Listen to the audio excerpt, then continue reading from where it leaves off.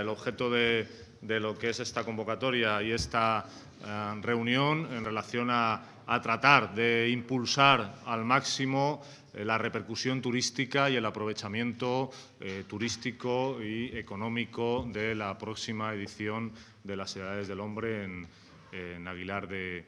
Campó. por supuesto, saludar a todos los que me acompañan en la mesa y creo que ese objetivo pretende favorecer también a los empresarios, pretende favorecer esa vertiente turística. Creo que eh, actualmente y hoy día eh, absolutamente nadie puede poner en duda y nadie puede eh, cuestionar la magnitud cultural y la trayectoria artística de la exposición de arte sacro Las Edades del Hombre. Desde el punto de vista eh, nuestro, queremos eh, también eh, potenciar esa parte, no solo cultural, sino turística, que los visitantes que acudan a la exposición de Aguilar de Campó también generen gasto turístico, generen pernoctaciones y generen un impacto positivo para todo el sector empresarial. Para ello, en esta reunión que hemos convocado, vamos a constituir eh, un grupo de trabajo que lo que pretende es eh, garantizar la máxima coordinación en el ámbito de eh, las actuaciones promocionales que se desarrollen en el entorno de Aguilar de Campo y en el entorno de la edición 2018 de las edades del hombre. Un grupo de trabajo en el que, evidentemente, estará la Junta de Castilla y León, estará la Fundación Edades del Hombre, estará el Ayuntamiento de Aguilar de Campó, la Diputación eh, Provincial y, como decía la secretaria, el sector turístico, que es un factor clave. Y cuando hablamos del sector turístico, hablamos de asociaciones empresariales, hablamos eh, de Cámara de Comercio, hablamos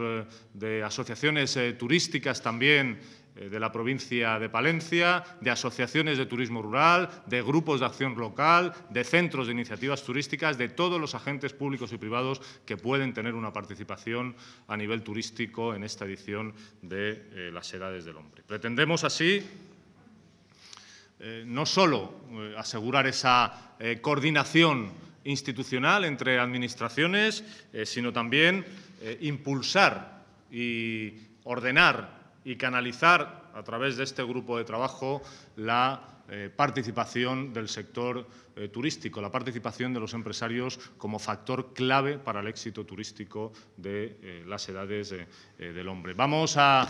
a, ejercer esa coordinación desde la Junta de Castilla y León y desde la Fundación Edades del Hombre con el fin de optimizar al máximo eh, las distintas iniciativas promocionales que puedan surgir, con el fin también de evitar eh, posibles duplicidades, con el fin de incentivar también la eh, presencia y la colaboración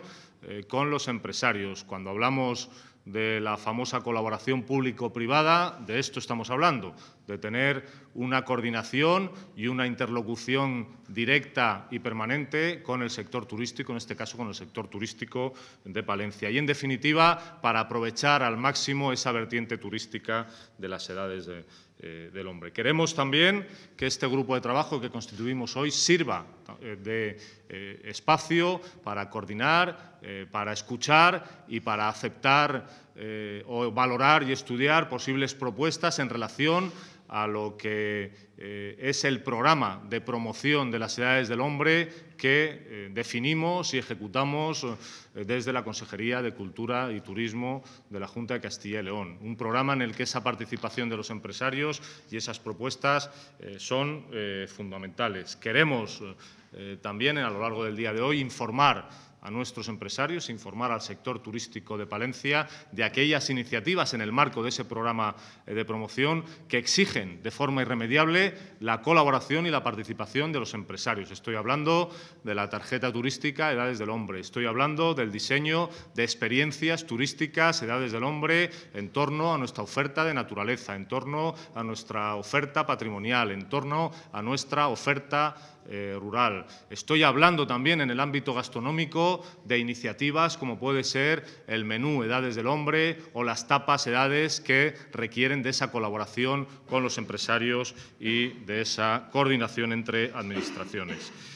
Esos son fundamentalmente eh, los objetivos de esta convocatoria, los objetivos eh, de esta reunión que queremos eh, hacer en este momento, y lo comentaba ahora con el secretario general de la Fundación, con suficiente antelación. Estamos en el mes de octubre y queremos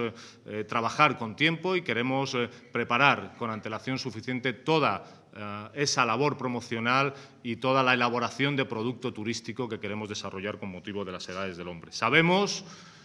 y somos perfectamente conscientes que el éxito eh, turístico de las edades del hombre depende en gran medida de eh, cómo podamos hacer esta coordinación y de que se trabaje también